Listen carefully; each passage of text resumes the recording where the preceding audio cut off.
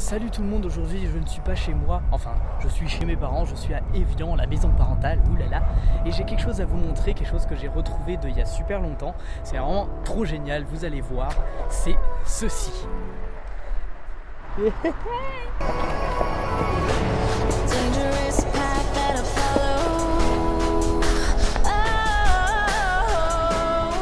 J'arrive pas à m'arrêter. Voilà ce que j'ai à vous présenter, c'est cette magnifique planche faite de A à Z. Bon, à part les trucks, les roues, les bush, les euh, roulements, etc., etc. Alors j'ai dit que je l'avais fait il y a un moment, mais du coup ça remonte à... Euh, deux ans, voilà, c'est fait. J'ai- Il y, a, il y a deux ans que j'ai fait ce truc. C'était une planche de snowboard, voilà, qu'on a sculptée avec euh, l'aide de mon frère. Et donc du coup, on en a fait ce chose. Donc, sur ce côté, ce que j'avais fait, c'est que j'avais mis du scotch pour que les, bandes soient bien tracées correctement.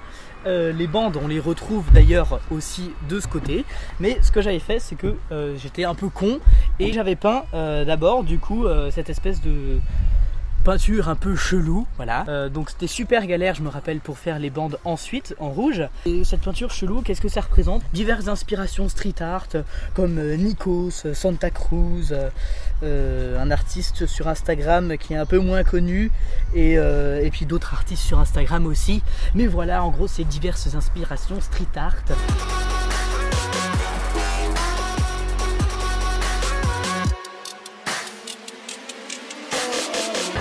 Alors pourquoi je vous parle de cette planche hein? Eh ben pourquoi? Eh ben déjà parce que j'en ai envie, hein, voilà, je fais ce que je veux je suis sur ma chaîne. Et ensuite parce que aussi celle-ci n'est pas à vendre, parce que déjà elle est un peu chiante à rider, et puis euh, elle est trop belle quoi. J'ai trop d'amour propre pour elle, c'est mon petit bébé. Mais on va y venir à d'autres plus tard qui sont à vendre. Je reviens, je vais chercher la planche qui est à vendre. 2,000 years later. Tam, ta, tam, Et voilà du coup la planche qui est à vendre. La même chose, hein, les mêmes caractéristiques que la précédente que je vous ai montrée. C'est-à-dire que du coup c'est sculpté, enfin sculpté, on va dire ça comme ça, dans une planche de snowboard. Donc niveau flex, il n'y a pas de souci, ça envoie du steak. Niveau rigidité, c'est pareil quoi, la planche vous n'arriverez pas à la casser. Euh, il faudra juste que je la nettoie parce que du coup je viens de mettre mon pied dessus. Et voilà, du coup, euh, la petite décoration, ce que j'ai fait, c'est que j'ai fait assez simple, hein, des petites lignes comme ça et un dégradé sur le dessous.